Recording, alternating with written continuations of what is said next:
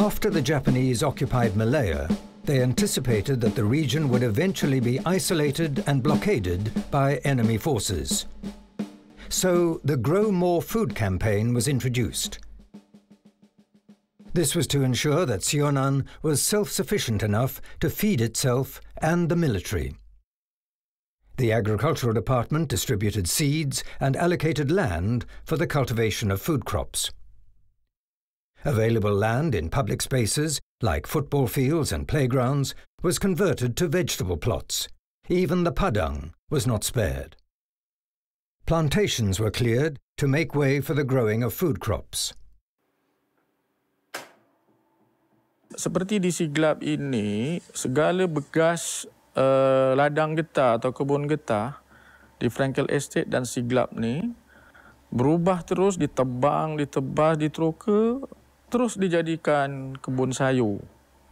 Walaupun bunyinya kebun sayur dengan lambang nanas, tetapi yang ditanam adalah keperluan-keperluan makanan seperti ubi, keladi, eh, keledek, jagung yang mengikut sistem tanaman moden sama ada gunakan traktor, gunakan baja, gunakan segala alat-alat pembunuh kuman, serangga dan sebagainya yang mana hasilnya benar-benar uh, mengkagumkan. So in the beginning, I think the approach was a softer approach, so where they tried to encourage populations to grow uh, their own food. Um, they had, um, you know, made all kinds of slogans. They introduced gardening uh, in local schools as part of the school curriculum, right? So you had students who were actually involved in, um, you know, growing little plots, vegetable plots in their in their school premises, right? You had government workers who were involved in this. You had prisoners, prisoners of war who were involved in this as well. In fact, I think it was mandatory for government workers to spend at least four hours a week working in their plots, right? And if you didn't do that, it was seen as subversion. I'm Ivy Singh. I'm a 63 year old Singaporean. I'm the owner of Bollywood Veggies. Bollywood Veggies is a beautiful 10 acre lifestyle farm. I'm a baby boomer, you know, so I never lived through the Japanese occupation. I'm the lucky generation.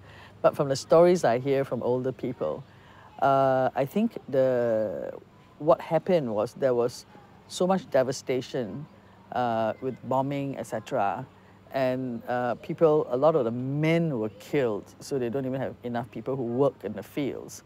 Uh, and uh, simply, people's lives were all overturned. And so the growing of food, I suppose, was interrupted, which was the main uh, occupation of the community then, the farmers.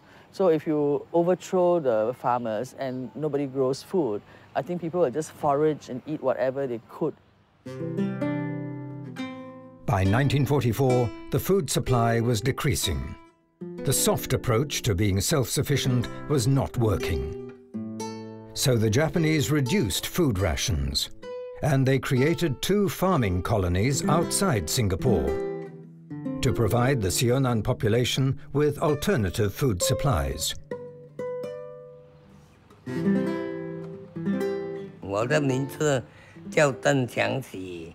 My 我今年八十岁，日本时代哦，日本进了这个新加坡啊，我们没有生活很困难，所以啊，在这个新村这个江南道啊，是日本条旗开的，给我们做农的，我们就要移民进来这个地方，有这样的机会啊，我们就进来这边跟做农咯，做农啊。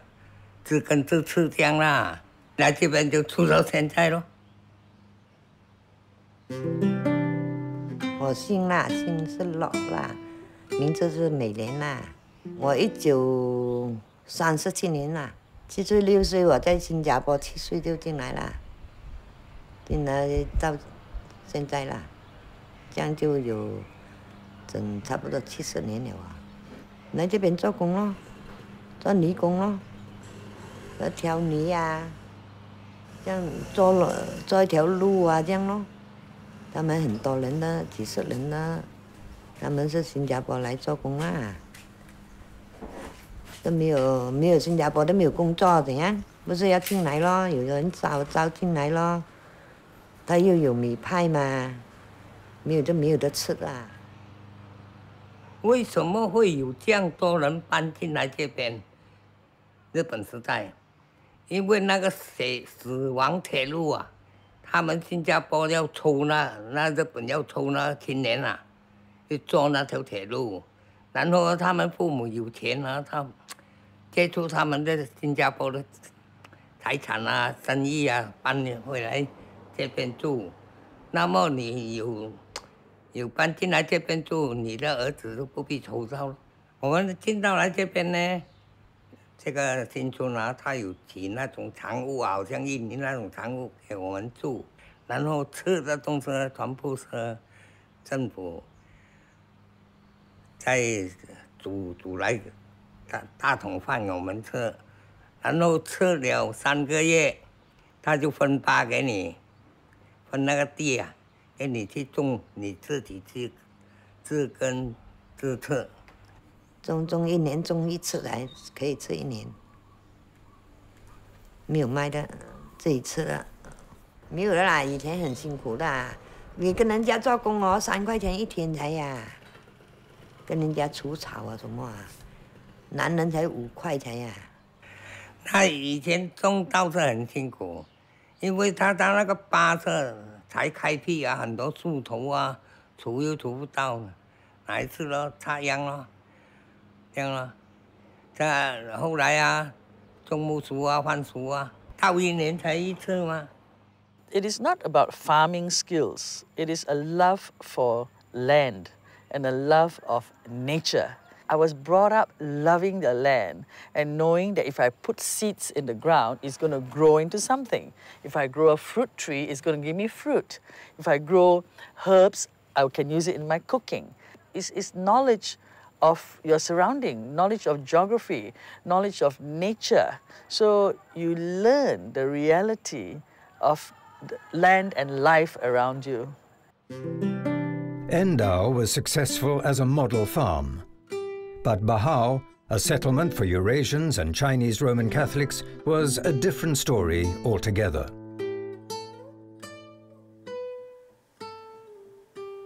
I'm Joe Conceicao. I'm 88 years old. I was born in 1924. I had been called to the Japanese headquarters in, in, in North Bridge Road or someplace like that. I went into the Japanese person's office and he, he told me, sit down. Then he said, you, I think you better go to Bahau. So that was a kind of, not, not, not a request, but an order. We never knew how to farm, which is really a kind of concentration camp which the Japanese put the Eurasians in. So they gave us a plot of land, big, very big plot of land which, is, which we found was quite unproductive. In fact, there was a group of Chinese settlers who had moved through, and they called them, they call it boho. Boho in Chinese means no good, you see. Well, after we arrived there, uh, we, we, had to be supplied with food because we, we, we hadn't started our own uh, uh, sort of farming yet. So they, they provided with rice, small portions for each family. A lot of people were spreading rumors, oh, so and so died, so and so passed away, you know. And finally, one day, um, this is a, a, memory. One day, somebody came and told my mother that my grandmother had died, right? And my mother was such a shock. She was so, um, she was so heart, heartbroken. She was so upset, you know, stressed out because she thought that if she had gone, maybe grandma wouldn't have died. So then she went to somebody, some important person in, in, among the Eurasians, and he said, nonsense, it's not true. She's okay. So he brought her, showed her this cutting from the newspaper. This part says a picture of a happy Eurasian family outside a temporary homestead in Bahau. And the people who died were the old people. My grandfather died there and I had to bury him. And it was a, it was a horrible experience, you know, burying someone someone who had died. So we, we used to make coffins ourselves, just knock planks together, make a coffin, and then put it at the side of the bed or so. And we used to take a long piece of wood and push the the corpse because they were full of ants. You don't want to, and the, the corpse would fall into the coffin, and all the ants would be splayed all over the place. And then we'd take cover the coffin and take them, bury ourselves. Bahau failed because the middle-class Eurasian population who were sent there knew little about agriculture. But even for those who could farm, the soil conditions were poor and it was malaria-infested. Around 3,000 people settled in Bahau, but by the end of the occupation, between 500 and 750 died. The exact figures are not known for Singapore, if you look at the death rates, right, for the periods 43, 44, 45, there was a spike in the death rates and lots of people died, and much of it had to do with, with uh, lack of access to basic food. But in a kind of ironic way, if you look at the diet, that people were forced to consume during the Japanese occupation, it was ironically a healthy diet because it was low in fat, low in meat. You know, they were largely consuming fruits and vegetables, right, that they had grown.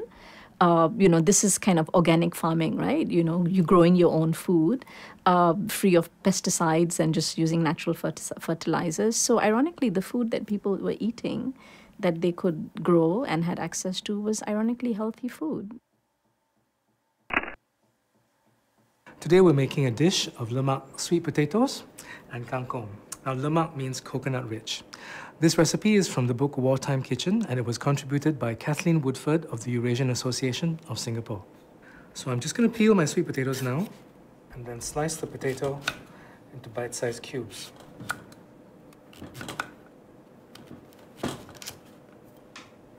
And kangkong and sweet potatoes were actually two of the most commonly available vegetables because they were cheap and easy to grow. Three to four chilies, depending on size. So we're using about four shallots. So I'm going to transfer them to the pestle and mortar and then pound them into a coarse paste.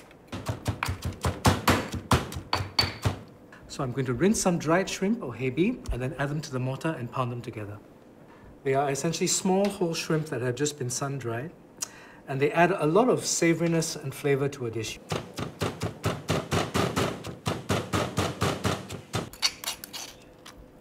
And the use of a few highly flavored ingredients to make a dish very tasty is not just an example of wartime thrift, but of Asian ingenuity in general. Now we're going to fry the spice paste in hot oil as the first step of assembling the final dish. Now I'm going to add the coconut milk.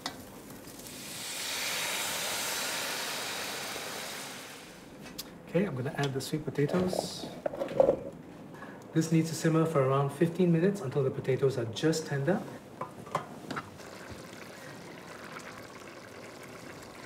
And then we're going to add the kangkong.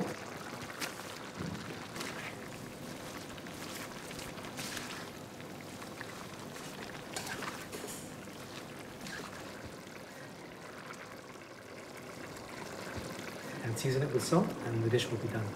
And here's the completed dish. Lemak sweet potatoes and kangkong. In the absence of meat, wartime cooks had to maximize taste and nutrition from available vegetables, beans, and carbohydrates. Clever use of available ingredients gave birth to innovative recipes that filled empty stomachs. After the occupation, Singapore continued to rely on overseas supplies of wheat, rice and dairy but it also maintained a farming industry that produced vegetables and poultry. This continued up to the 1960s. People in charge of communities must understand. You can give your community all the money in the world, right? And all the housing in the world. But if they don't have food sustainability, they have no connection to the land, they are not going to survive, right? So it is critical to understand that food sustainability, uh, self-sustainability and connection to the land are connected. During the war, an urban population was forced to become farmers.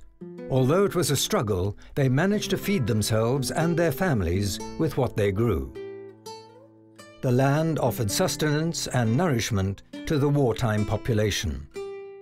Today, as more of land-scarce Singapore is taken over for commercial and residential purposes, self-sufficiency and feeding ourselves becomes an increasingly pressing issue. How would Singapore cope if our food supply is ever exhausted? Can we go back to the land?